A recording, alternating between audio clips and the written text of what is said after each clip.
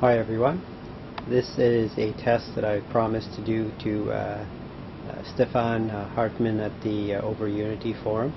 And uh, he was uh, interested in seeing a scope attached to the prime mover of my generator, so this motor here, and look at the scope data and information and waveforms to uh, determine the uh, power going to the uh, induction motor and to uh, see what happens when I put the circuit uh, under load.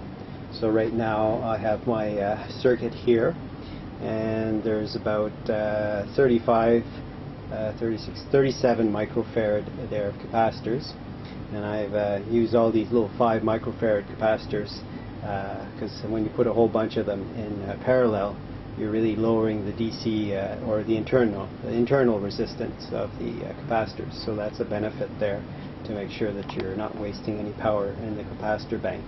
But these uh, capacitors are still in series here and that's going in series there across the uh, primary and the secondary is shorted. And uh, then uh, out of the primary I'm coming to these two resistors which will be the load and those resistors are very uh, precise resistors. Uh, that's a 5 ohm 1% and that's a 50 watt resistor there.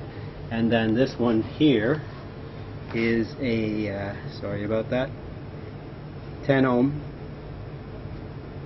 10 ohm, 1%, also 50 watt uh, resistor. So those resistors uh, are on series here on the uh, return here to the uh, generator. So we're going to put that, uh, that'll be our load, that's what we're going to be extracting the power out of the generator, or the alternator basically here and uh, I'll be turning the circuit on uh, by turning on this switch here. And then we're going to look at not just what happens at this watt meter, uh, you know, we want to see uh, also here on the uh, oscilloscope to see any fine details and uh, any changes in the power that the prime mover consumes. And also, I've got a, a scope probe here uh, that'll be uh, that is on channel 3 so here on channel 1 we're going to be monitoring the grid voltage to the induction motor and uh, probe uh, number 2 here channel number 2 is across the uh, 0.1 ohm 5% uh, resistor. And there's the voltage probe uh, which is this one here would be on times 10 and this probe here is on times 1 this probe here is on times 10 and uh, if we look in our menu here uh, if we look at the uh, probe uh, information there it is. Probe is on 10 for the voltage and if we check the channel 2 it is on 1 times uh, no inversion in this video. uh, and then probe number three is on times 10 as well. And uh, then we'll also be looking at the, uh, the math.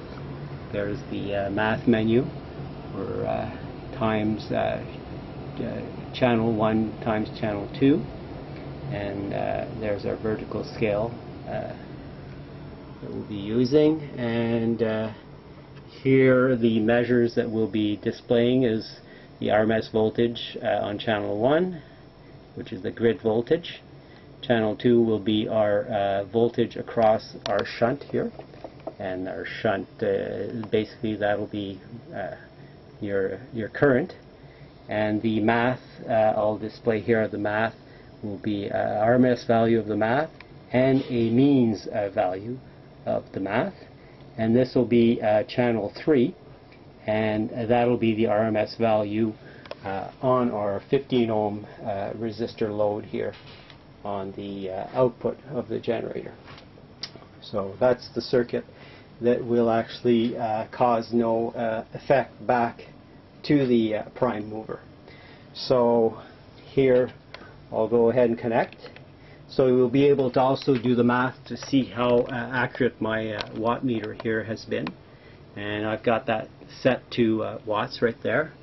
And I'll go ahead and start it. It's plugged in now, and now you can see the uh, waveform on the scope.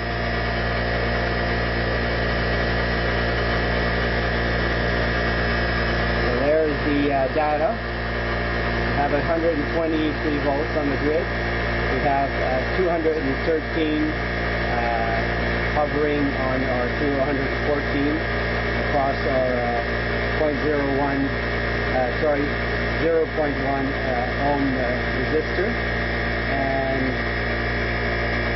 that is 29.5 uh, volts RMS in our math. And our mean, we've got 21.7. and nothing uh, is going across our load yet because I didn't turn it on. And as you can see here, our math is all on top. So we are using real power, nothing is being returned. Uh, even though it's an induction motor, hardly anything is being returned there. Uh, so now I will turn on the circuit, but I'll tell you before I turn on this circuit, um, because we're looking at the 60 hertz here on the uh, grid side and the alternator is going to output a different frequency, uh, you won't be able to get a synchronization for the third channel. So the third channel uh, will be just moving by. But it doesn't mean that we can't get an accurate reading on it. We will get an accurate reading still, even though it's not in synchronization with the frequency of the grid. So now you can look at my watt meter. So we have around 163 uh, watts in average. All right, so you can now do the math and find out if this thing has been dis displaying uh, correctly. Now I'll turn on the uh, circuit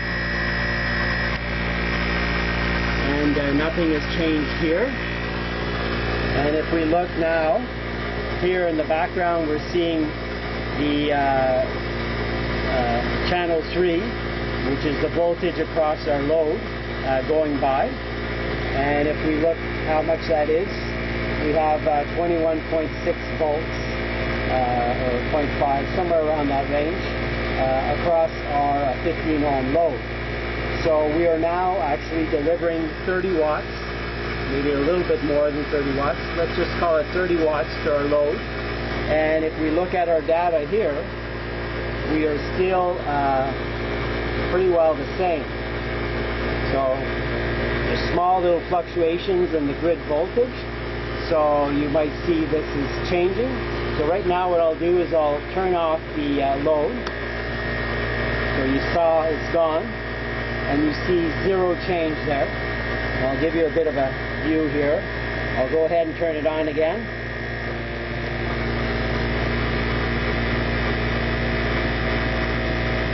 So I don't know, I see zero change and basically I tuned it so there is zero change. We're getting our maximum amount we can get without uh, affecting the uh, prime mover. So there I'll shut it off again.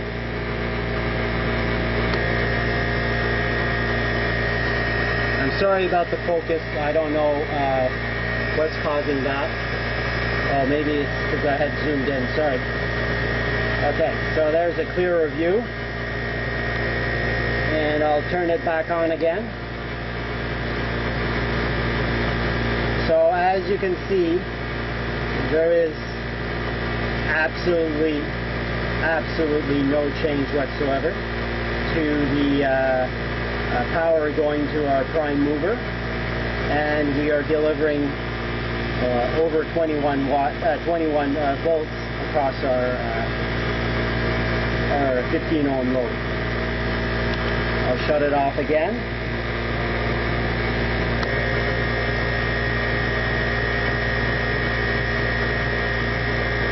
And turn it on once more and uh, we'll be done.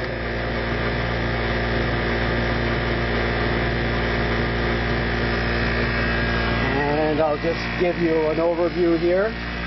There's our wire coming out here of the, uh, this here I've rigged it up that I have my grid voltage coming on this side here of the uh, uh, generator so that it uh, has an easy access.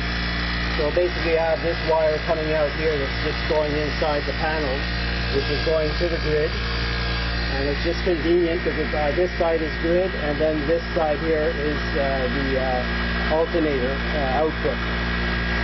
And that's the only wires and there's our induction motor and that wire there is basically our wire from the induction motor coming underneath here coming out and this is uh, us here feeding the grid from that watt meter and to across our shunt there with our current or voltage probe there's our voltage probe there. So everything is very clean I know this is hard to believe but uh, this is uh, possible to do. So I think that's about it on that, and uh, hope you are satisfied now to see that this is truly working.